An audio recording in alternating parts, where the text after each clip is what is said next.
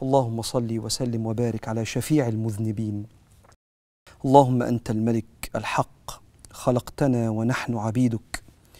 إذا عملنا سوءا أو ظلمنا أنفسنا فاغفر لنا فإنك أنت الغفور الرحيم.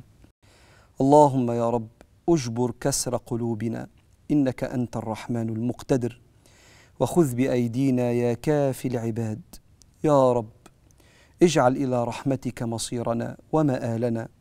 واغفر بعظيم عفوك ذنوبنا ومن علينا بصلاح عيوبنا واجعل في صلاح أمرنا اجتهادنا. اللهم إنا نسألك النجاة من الشكوك والظنون وأن ترزقنا طريق العودة إليك الذي سلكه عبادك المؤمنين.